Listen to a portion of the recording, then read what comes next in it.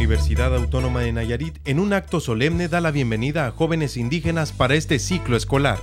Tatúese ese, ese espíritu universitario de la universidad dentro de sus corazones. Participa con una ponencia el rector de la máxima casa de estudios en el marco de curso de capacitación político estudiantil.